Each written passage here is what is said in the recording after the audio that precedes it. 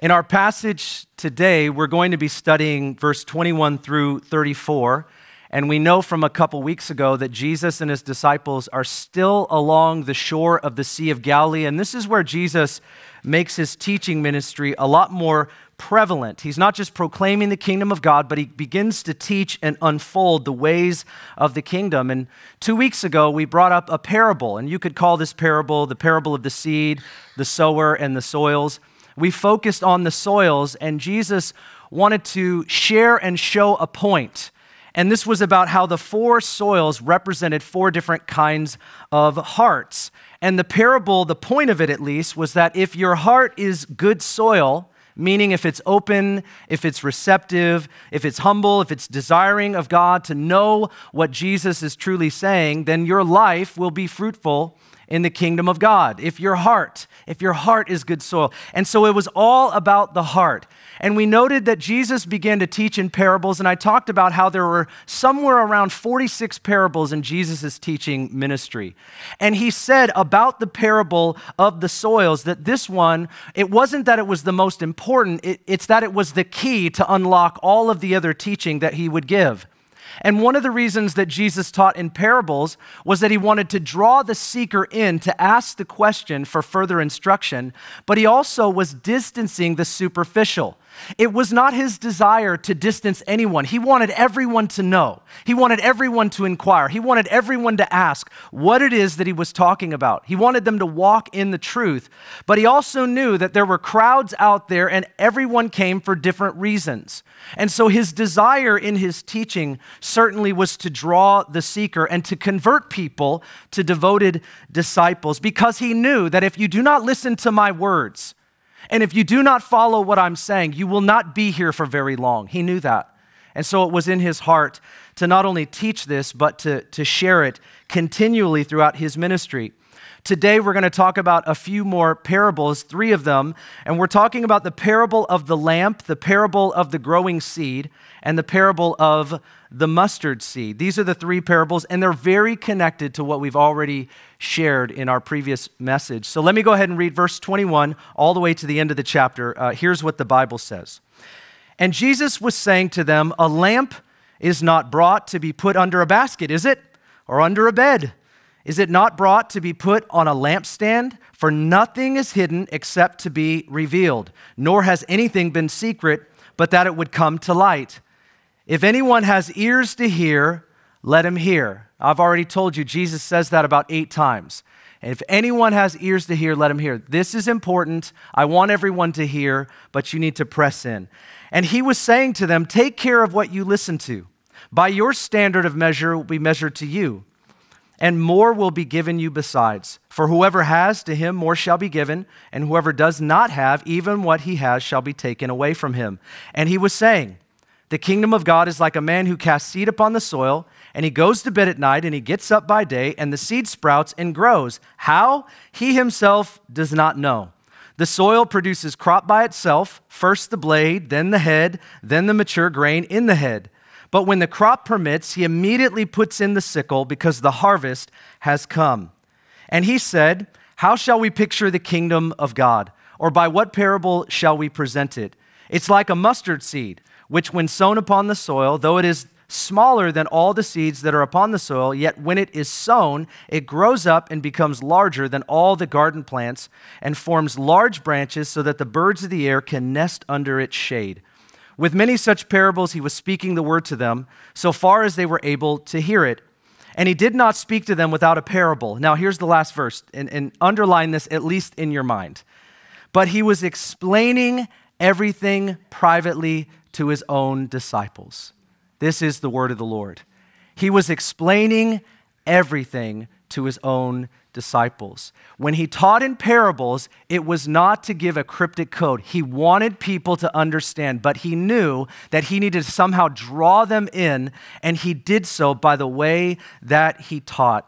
In Mark chapter 4, his teaching is focused completely on the kingdom of God. And what he's doing is he's giving a blueprint for how the kingdom is going to unfold to the end of the age. Now, he's not fully explaining that, but what he is doing is giving enough so that later on he can continue to add and build upon his teaching. And if I were to summarize chapter 4, I would say it like this, and this is what I would think Jesus would be teaching I am the king, Jesus. I am preaching the good news of my kingdom. And if your heart is open, you'll, you'll receive, you'll bear fruit, and you'll become part of the expansion which will be established by me, but through you. And this is a really important piece. The kingdom is established by the king, but in these parables, he's trying to teach them I want it to further in the earth through you. You get to become part of what I'm doing. Now, this is an interesting point because the backdrop of Jesus' teaching in the Jewish community would have been this. They thought that the Messiah, when he comes, would reveal himself as in sort of a military political power. I mean, he would rise up and he would have whoever along, along his side, and he would have the kind of might and the kind of strength and the kind of power to overthrow all other kingdoms, all other powers. And he would be able to do that as he would raise up Israel along his side.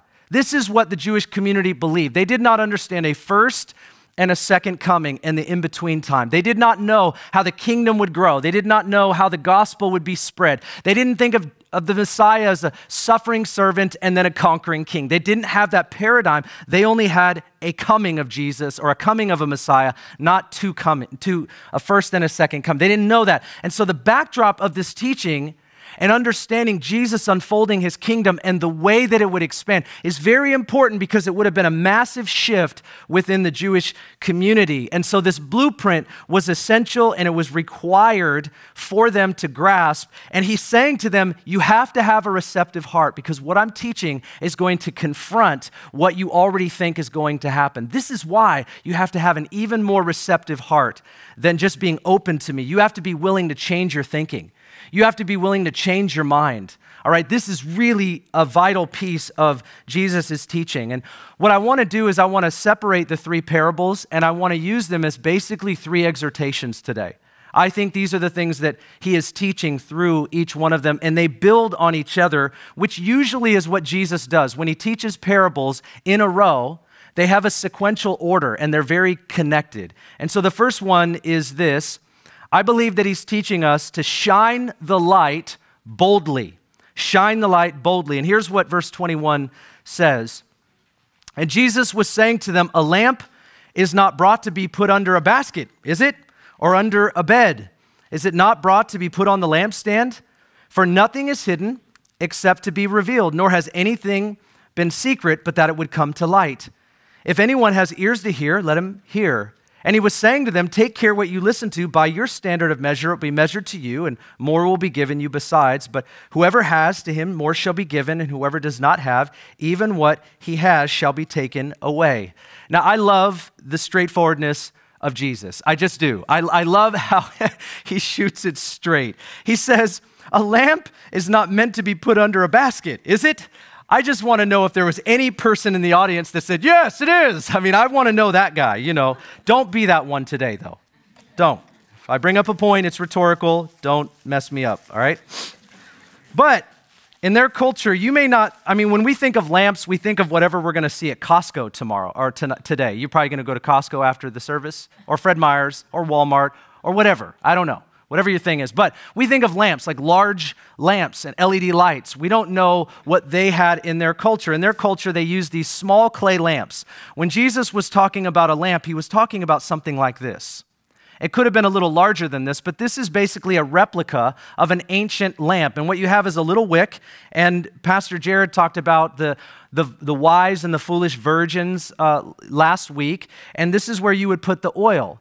And if you didn't have any extra oil, this can only carry a few ounces. And so at some point it's going to run out. You have to have a flask where you can put more oil in it. So the foolish virgins were the ones that didn't have enough oil when it ran out. But these are little lamps. And no, you can't have mine. You can go on Amazon for $13 and get one of these. And I'm not even saying it's a good product, so I did not give it a review yet. I'm just saying Usually I buy, this is how lame I can be sometimes. Sorry, children, uh, if there's any in here. I, I buy this stuff as a sermon illustration and it never arrives on time. So you can't imagine how excited I was to actually have those sync today. Great, really great. But you have this lamp, and so what you would do is, is in ancient culture, is especially on the Sabbath because you couldn't make a fire on the Sabbath. And so this is what they would use. They would just they would have to have the oil already in it and they would light the wick. And so Jesus is saying, "You wouldn't take your lamp and put it under a bed, would you?" And they were all, "No." And you wouldn't take this and you wouldn't put a basket over it, would you? And they were like, "No, that's not the point." And he's like, "Right. What you would do is you guys take your lamp your light, and you put it on a lampstand. Now, a lampstand would have been a shelf protruding out of, of a house. You know, if somebody, if you were just sort of common middle or lower class, you just have a shelf. But if you lived the fancy life, you would have a lampstand. Remember when Jesus in Revelation talks about the lampstands? Sometimes we think of the menorah, but that's not necessarily what he meant. There were lampstands that these little lamps would, would be on, and he talked about taking away their lampstand. Well, then the, the light of Christ wouldn't have a place to shine from, right? So they wouldn't have that influence that Jesus had given to them to represent him as the Messiah and to preach his gospel. But Jesus is asking a rhetorical question, and he's saying, You would not take your lamp or your light and hide it, would you? And what he's trying to say is that there is this this temptation for people to hide the light. There is a temptation, and before he ever gives them the Great Commission to go and make disciples of all nations, or preach the gospel, which is also the light of the world. Jesus is the light, but his words are an extension of who he is. So his words are the light. This is the light of Christ, the light of the glory of the gospel.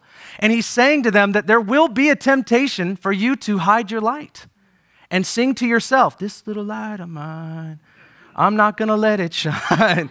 This, he's saying, this little, let it shine. You understand? He's like, the gospel of the kingdom was not meant to be secret, it was meant to be shared with everyone. And this is what he's after. He's saying, What I am and what I'm saying and what I'm giving to you, because the kingdom's going to unfold through you. He's going to go and his words are going to be given to his disciples. And that means the kingdom is going to expand through the people that carry the light. And he's teaching them in advance shine the light boldly. Don't be ashamed. Don't, don't be afraid. You don't have to force light onto people, you just have to shine it. You just have to shine it. You just have to live it. Don't hide it. Don't ever hide it. And then he makes this comment that I think can get really confusing in verse 24. He says this, and it's very connected, but it doesn't look like it. He says, Take care of what you listen to. By your standard of measure, it will be measured to you, and more will be given you besides. For whoever has, to him more shall be given. Whoever does not have, even what he has will be taken away. What is he talking about? He's saying the gospel of the kingdom is the light that illuminates the path to God and to the Messiah, who is Jesus Christ. And he's saying that if you take what I have given to you, you will receive more. If you share what I give, you will have more illumination, more revelation. You will be able to shine brighter and to show more of the gospel of Jesus. In other words, words, if you hide your light, you will not get more, but what you have will be taken from you. If you hide what I give to you, you will what? Watch this. You will not have, you will not be what I've called you to be. There will be a holy frustration in any person that names the name of Christ but does not share or shine what he has given. And he's saying, but if you do shine the light, watch, I'm going to give you more. The light is going to shine brighter and it will expand even more through your life. Now, this concept of light is well used throughout the scripture, and I just want to share a few references with you. First of all, in John chapter 8, John 9, John 1, a lot of others, Jesus is, he speaks of himself and he says, I am the light of the world. And in other places, he also means to say, My gospel, my word is the light of the world. It also says in Matthew 5 14, he said, Jesus speaking to his disciples, he says, Let your light so shine among men that they might see your good deeds and glorify your Father in heaven. And can I tell you today that Jesus is not just saying do good works? Now you have to watch this. He's not just saying do good works. Be a nice person so that people think you're a nice person. He's not saying that. If you show your light, if you let your light so shine among men that they see what you do, how will they glorify your Father in heaven if they do not know that you believe in a Father in heaven? See, what he's talking about is that we're not ashamed. He's not saying go and be brash, go and beat it into people. He's saying you have to come out of the shadows and into the light. And when you do that, no matter how many people that are in your sphere of influence, if they know you're a Christian, they see the good deeds that you do and they will have no choice but to glorify your Father in heaven. But they've got to know that you're a person that follows Jesus. You're not, you know, just somebody that wants to do nice things. And, and, and I'm not saying don't do nice things, but it isn't for the glory of self. Because if people just think that we do good because we're good people, then it's going to be for the glory of self. And so when he's talking about shining the light, the light is not us. The light is not our good deeds. The light is Christ. The light is the glory and the gospel of Jesus. And you got to get out of your mind whatever picture of an evangelist you have. I mean, we often just sort of, honestly, I think we sort of cower down because we think an evangelist or evangelism or sharing and showing the gospel of Jesus has a lot to do with people we are not like. But Jesus is calling every person and whoever they are to shine the light and to do so boldly. And did you know that when you sign up to be a Christian, that he gives you more than you can handle and it's always enough to share? And so when we say yes to Jesus, there's a corresponding commitment to take whatever he gives us and give it away to others. I'll prove it to you. Uh, you don't seem convinced. When you come to Christ, you have to what? You have to be forgiven of your sin. Jesus died in our place, and he died for the forgiveness of our sin. So you receive forgiveness. What does Jesus call you to do? To forgive others. Now, we, Ryan, Pastor Ryan read a passage out of Romans chapter 5 last night and it talks about how the love of God is poured out into our hearts through the Holy Spirit. We know that God so loved the world that he gave his one and only Son. When you give your life to Jesus, it's like you're receiving that love. See, love given is not love received, but when you come to Christ, you're receiving the love of God in Christ Jesus. And then what does Jesus tell us to do? To love God and to the thing that you receive is the very thing that you give. So when you are given the gospel, when you receive the gospel of Jesus, he is saying, Do not hide what you have been given. I have given you enough to share. And every Christian, me, you, and everyone else, will always be frustrated if we do not give away what he has so lavished upon our life. One of the reasons why we get frustrated simply is this is that we do not shine this little light of mine. Now, you're welcome, married people. You're going to wake up tonight singing that just out of the blue. This little light of mine. And somebody might go,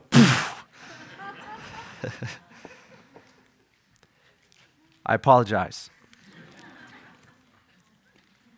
The Bible says in John chapter 3, the part that we don't read, verse 19, it says that people live in darkness and love darkness, which is why they do not come to the light.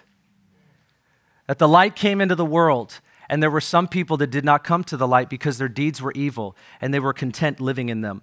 We also know that the devil will oppose the light of Christ, 2 Corinthians 4 4. It's very clear that the devil blinds the minds of the unbelievers, so much so that they cannot see the light and the glory of, God, of the gospel. Isn't that true in our culture today? Trying to cast a shadow on everything that is Jesus. Look at all the Christians that have failed. I mean, this is literally the media consumption. Every bad deed that is ever done by anybody that names the name of Christ is absolutely the front and center in every newspaper. Isn't that true? I mean, the last thing I was reading was Hillsong scandal, and it was like Carl this and whoever that, and it was like, this is a horrible church. Yeah, let's, sh- this is, there is an agenda, and I'm not advocating for them at all, but sh- show a shadow on everything bad that anybody Christian or church does. Friends, I want to tell you, all over the world, people that name the name of Jesus are giving their life away, giving their finances away, doing good because they love Jesus. But you're not going to see that in the media, so don't spend too much time reading those headlines because people all over the world and all over our church are doing a whole lot of good. They are shining the light brightly. So I don't believe everything the world is selling because I know that God is doing so much more, even through, even through us. But don't you know, Jesus is speaking to this thing. You are going to be tempted to hide your light. You're going to be tempted. You're going to be tempted by all kinds of people in all kinds of places, but don't do that. Shine it boldly. The second parable and the second exhortation is sow the seed generously. Here it says in verse 26, and he was saying, another parable, the kingdom of God is like a man who casts seed upon the soil. And he goes to bed at night and he gets up by day and the seed sprouts and grows. How? He himself does not know. The soil produces crops by itself first the blade, then the head, then the mature grain in the head. But when the crop permits, he immediately puts in the sickle because the harvest has come. Now, this is not complicated. The farmer is Jesus, but Jesus is preparing his disciples to be farmers.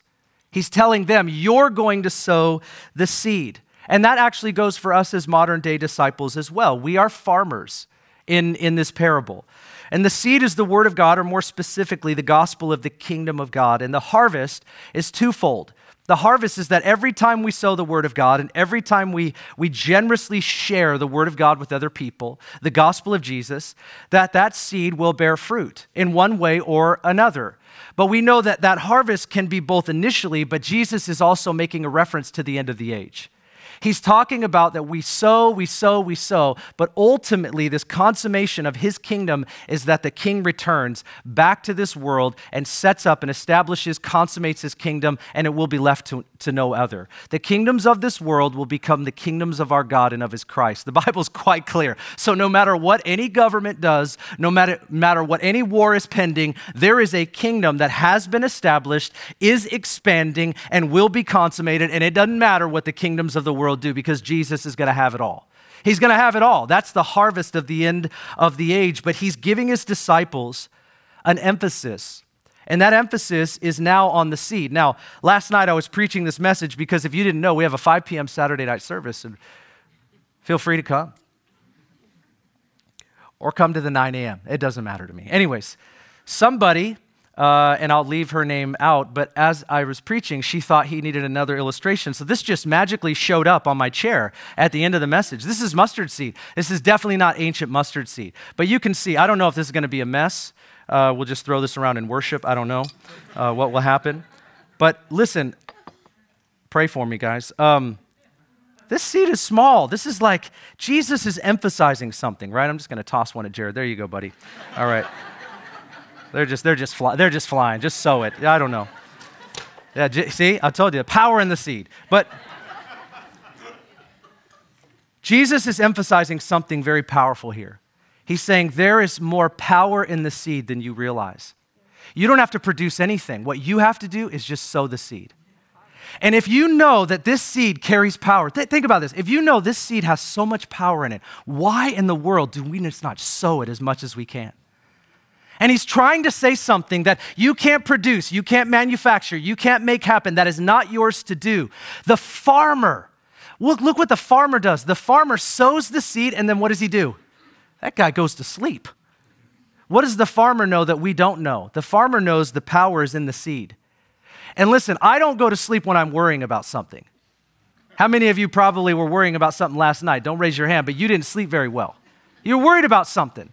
And maybe you should have been, but I'm just saying when you're worried, when you're in anxiety, when you're in fear, and you don't know what's going to happen, you sow the seed and you're like, oh, what do I got to do? How do I got to water it? Did I put it in the right place? And Jesus is saying, sow the seed. And here's what the farmer knows he goes to sleep.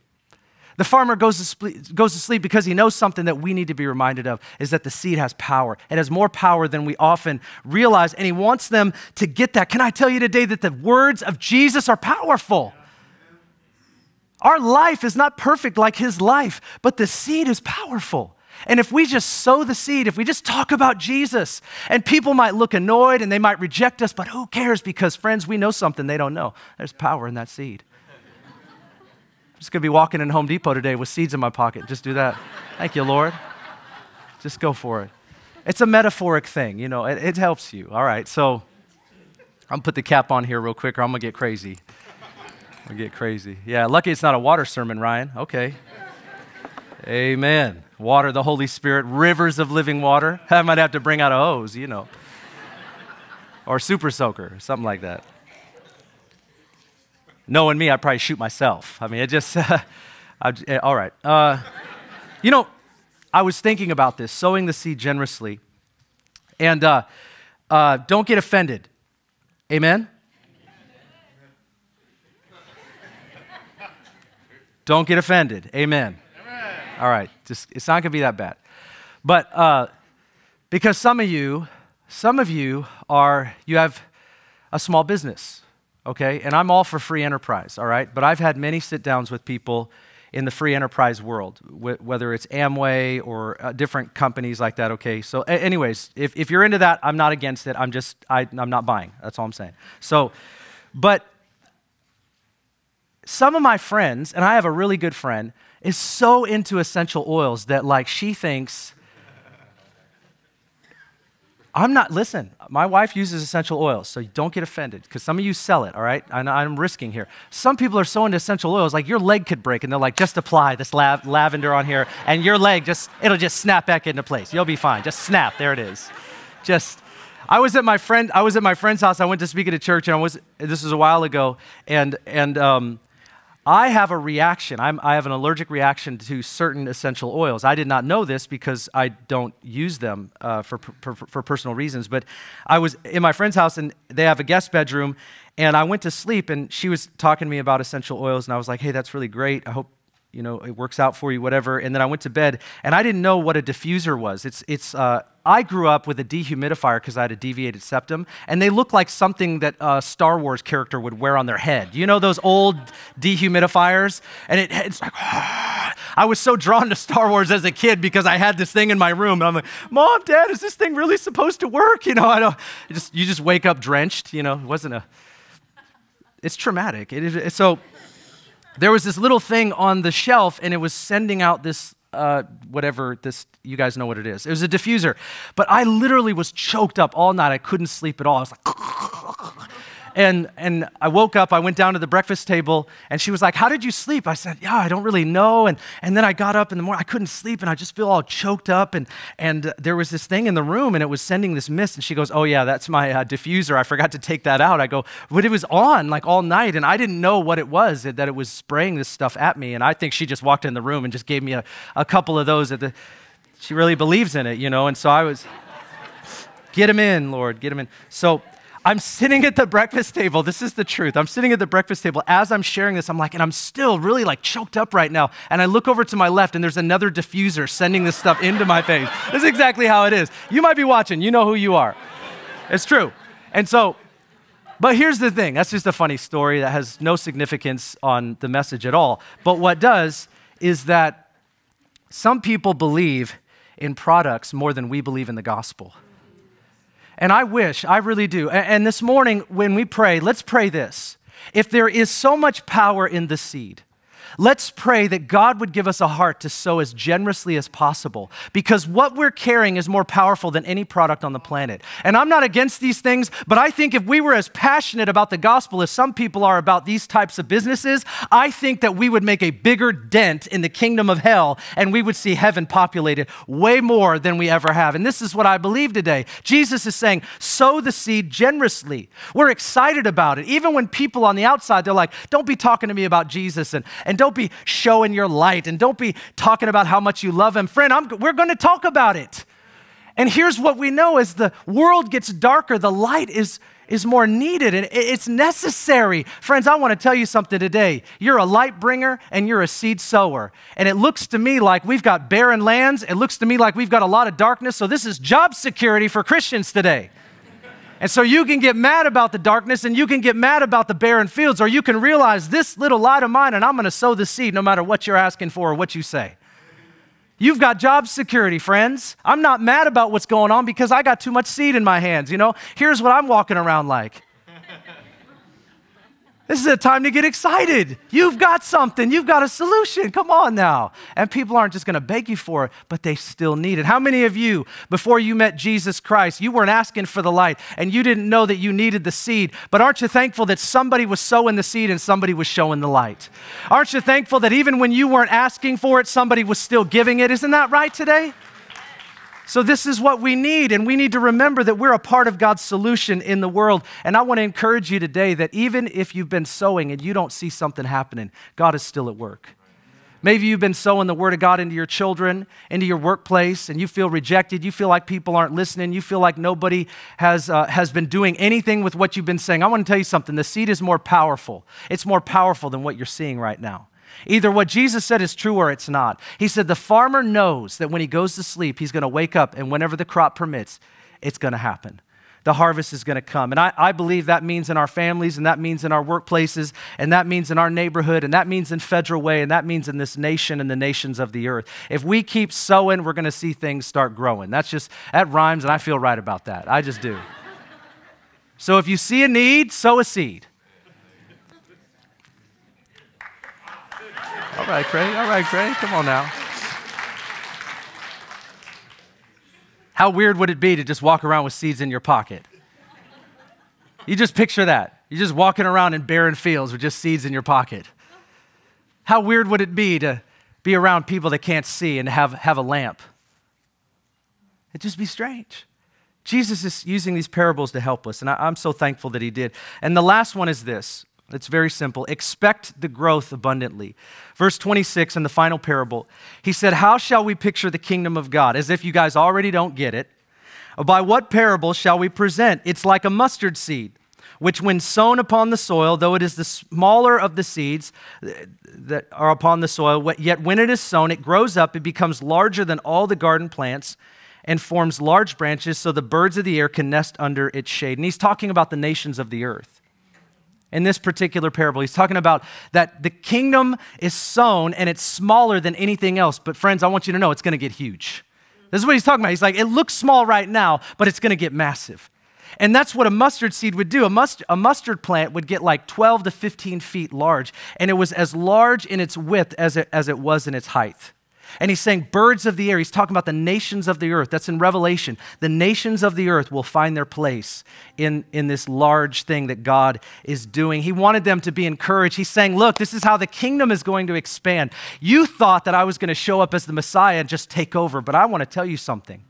I'm pulling you into this plan. I'm going to give my life. I'm going to rise from the dead. I'm going to ascend to the Father. And everything I'm teaching you, I'm putting it into your care. And it's like light and it's like seeds. And as you shine it and as you show it, you can expect that I am going to do a great and mighty work. And it might look small now, but it's going to grow and expand. And you get to be a part of it. You get to be a part of it. So you have to expect, you have to have faith. And that's what God wanted to, wants to renew in us, to have faith that where it looks small and where it looks like Christianity might be diminishing, he's saying this kingdom is not left for another people. This kingdom is an expansive kingdom. This power is like no other, no other power. This message is like no other message. What you're a part of is the greatest thing in the world because it's under King Jesus. Now, Jesus was saying that to 12, and he lost one. Now there's 11. Church history would tell us after Jesus rose from the dead, there was at least 120 believers. Some say there were over 500. We know there were 120 at the day of Pentecost, and guess what happened on the day of Pentecost? This is just 50 days after Jesus had risen from the dead. 50 days after, there's 3,000 Christians. We went from 12 to 11 to 120 to 500 and 3,000 and what you know about 62 AD, some people say there were 10,000. Some people say at the end of the book of Acts there were 100,000 believers. We're talking just 30, 40, 50 years later. And when you follow church history, they say at 200 AD there was at least 150,000. I want you to see expansion. I want you to see expansion. At least 150,000. And by 350 AD, it's incalculable. They have no clue how many believers there were. Some people say there was 3 million, some say there was 17 million. We don't know. I mean, it's exponential. Christianity, the gospel went viral through people who just dared to believe that this little thing, these words about a king who came and gave his life for the forgiveness of sins, and that he's going to return, and all those who believe in him will have eternal life in his name. They're just words, but these words have power. These words have power unto eternal life. Paul said in, in Romans chapter 1 and verse 16, he said, The gospel is the power of God unto salvation. It's the power of God. These words have power. And we see as we look today in the world, in 2010, they estimated 2 billion Christians. That's one third of the planet. I think that's high. Some people ask the question how many of those really believe in Jesus? I don't know. But I want to say something to you about America. In 2010, uh, they had a poll of how many people were professing Christians in 2021. And the statistics that I read show at least 18 to 20% decline in the United States of America in just 11 years. And I want to tell you something that shouldn't discourage any of us unless we do not believe that the seed will grow or the light will shine. And that's what I think happens to a lot of us. And let's just be honest today. We look at the light and we look at the seed, and it looks like nothing compared to what's happening in the world. But I want to encourage you today that if Jesus breathes on it, it's more powerful than anything. It's more powerful than anything. And so, what we're fighting for today as Christians is to believe that what we have is more powerful than anything else that's out there. Do you believe that today? But could you use a renewal of faith? Could you use a renewal of faith today? Because listen, I'll tell you what, I could. We live in the Pacific Northwest and we're known for all kinds of things. We're known for mountains and clean air and rain, God help us, and a lack of a basketball team and oceans and lakes and all kinds of beautiful scenery. We're known for all this wonderful natural stuff, but spiritually, we are not known for vibrant churches and sold out disciples. We are not known for passionate young people filled with the Holy Spirit, willing to give their all to Jesus. We're not known for that, but we can be. But we can be. And so my faith is being renewed in the sense that in this generation and in this generation that is unfolding, no matter what I see, God, because of what He's given, can cause us to increase for the glory of King Jesus. I believe because that's His will. It's not my will. It's not a cute vision for our church that goes up on the walls. It is His desire that the nations of the earth come to know Jesus Christ. That is His desire. That is His will. And if it's His, then what we are doing is partnering with what God is doing. That's all that we are doing today. And so this message and this ministry has been entrusted into our care. What do you want to do with it? What do you want to do with it? We come together on the weekends, let's get fired up and let's get sent out and sow the seed and shine the light. Are you hiding your light? Come out of the shadows. Are you keeping the seed in your pocket? Start throwing it, start giving it away. And Jesus says this the one that gives away, more will be given. But the one that does nothing with what they have, even what they have, will be taken away. God help us to not be like that. Amen. Without any guilt in the room, without any shame of the past, let's ask Him for a holy expectation and faith for the future. That's all that matters today. The past is gone. What do you want to do with what God's given? Would you pray with me today? Father, we thank you in the name of Jesus for the seed and for the light. And we ask you, Lord, today that you would, that you would renew our faith, that we who live in the Pacific Northwest are not afraid of the darkness. We are not afraid of barren lands. We are expectant and we believe that you are at work even if we don't see it. We're expectant and we believe that it's not up to our excitement, it's not up for what we do per se, but we're just supposed to be faithful with what you've given.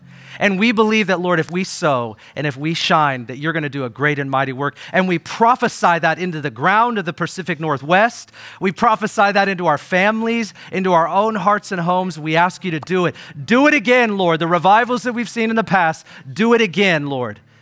Find fertile soil in us. Thank you, Lord, for sowing seed abundantly inside of us, and may we be faithful, Lord, with what you give. We're asking that you would help us to do our part that we would be faithful. As you would stand, I want to close by sharing with you a prophetic thought. In just a moment here, our pastors are going to come forward to pray. Our prayer leaders can come forward too at this time if you guys want to come up front. I had a vision earlier in pre-service prayer. You can join us if you'd like. And Sunday morning we have pre-service prayer at 8:15. That's for anybody. We also have pre-service prayer before our Ignite gathering at 6:15 before our 7 p.m. Wednesday night service. We also have pre-service prayer before our 5 p.m. service because we believe that God moves as we pray. That it's his work, all we're doing is asking, just like we sow the seed. It's his seed and it's the power that he accomplishes as we sow. As we pray, God will do great things. We've watched God answer our prayers. And so we're getting more specific in our prayers. We're praying specific prayers. And as we prayed this morning, we have to believe that God's going to do some of the things that we prayed for. We have to believe that. It's just simple faith. And I had this vision, I had this picture, and there were some that would be either watching online or would be here in the room today. And you had all these weapons, and it represented anger, it represented fear. When we're afraid, we want to protect. That's what we want to do. It represented anger, and there were these weapons, and you were flailing with these weapons in this vision. And I saw people walk up with their natural weapons and just lay them on the altar. It was a faith move toward God. You just laid them on the altar because you were fighting against people rather than fighting for people. And when you laid your weapons down, God, by His Spirit, revived you to believe that just as He brought you back to life, so He is bringing people in our world back to life. and that we've got to stop fighting against people and we've got to stop, start fighting for them because greater is He who is in us than anything else that is in the world. He wants to change the way that we think, but we've got to lay down the weapons at the altar. He is not weaponizing us, He is gospel centralizing us. He is helping us to get centered on the glorious gospel. Come on, that changed your life. Did it change your life? He changed our lives. The words of Jesus are more powerful, friends.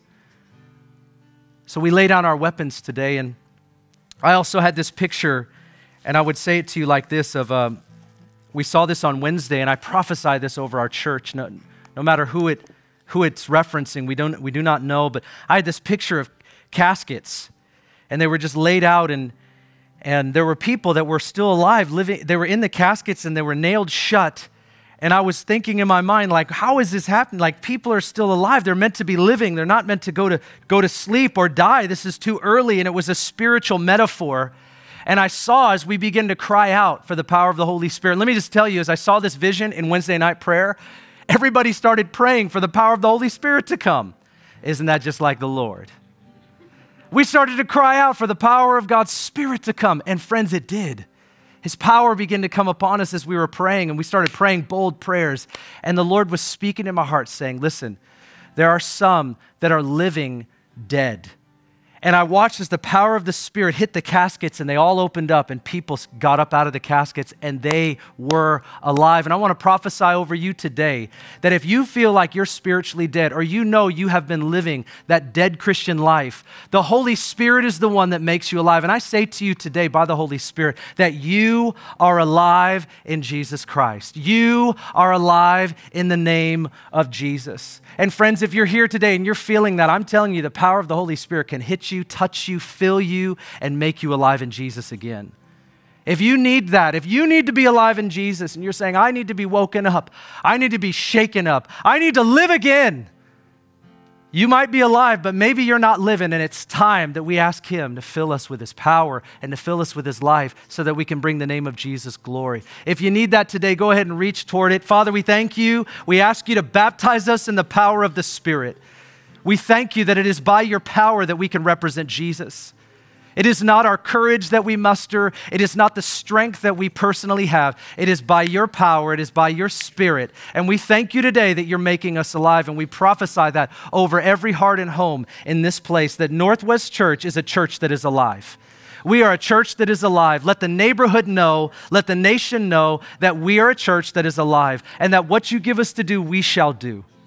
We are not living just to survive. We are here to thrive and bring the, bring the glory to Jesus. And I pray today that, Lord, we would experience that awakening. And I say to you today, friends, church, I say to you that you're going to, some of you are going to experience an awakening. Don't be surprised if you have to pull your car over on the side of the road to begin to pray in the Spirit. Don't be surprised if you wake up in the morning and God gave you, gave you a heavenly dream. Don't be surprised if you're reading the Bible and it once was boring and it becomes alive. Don't be surprised if all of a sudden the lamp, the light of your prayer life begins to shine. Don't be surprised if God starts to wake you up in ways that you weren't even asking for. Don't be surprised because God's going to do a work inside of us. Just as we sow seed in the lives of others, He's sowing seed in us today. So, Father, we ask for you to do that work in us, and we thank you for it in Jesus' mighty name. And everybody said, Amen. Amen.